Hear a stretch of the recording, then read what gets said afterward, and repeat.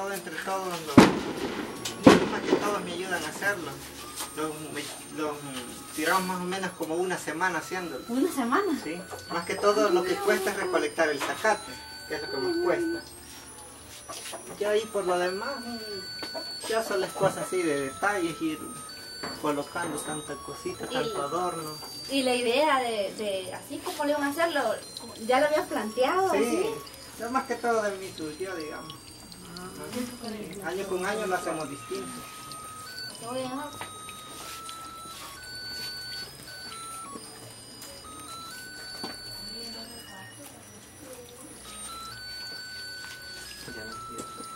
Las paradas sí están cambiando. Sí, las para.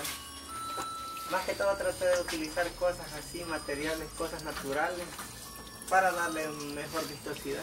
Y eso rojito que es, mira ahí como el hombrita, así que es. Hacer pintado. Sí, eso.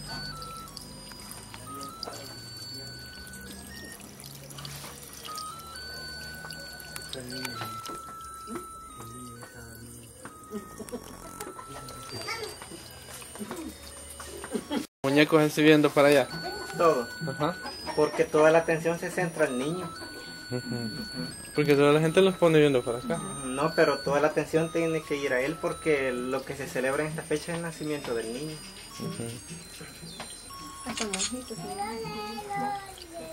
Hay bastantes muñequitos, ¿verdad? Sí, había más, pero se arruinaron. Y eso paritos, Sí, hay un Casar, casamiento, ah, una banda, gran soldado. los reyes. Con otro sapo. Y un sapo, ¿eh? Unos sapitos, así. Pues, um, El año pasado lo hice con, con papel craft. Pero este año lo quise cambiar poniéndole zacate, este zacate de conejo. Porque el zacate de arroz es más grueso. Lo ¿Y cómo hicieron eso? ¿Cómo lo pusiste? Ah, Allá al lado de atrás lo colocamos. Ah, dejaron un espacio para Sí, sí, hay un Ah, espacio. bien. El niño que ven allí es traído de Guatemala, ya lo bendicieron en Esquipul, Sí. de, ahí, ¿De qué material? de yeso.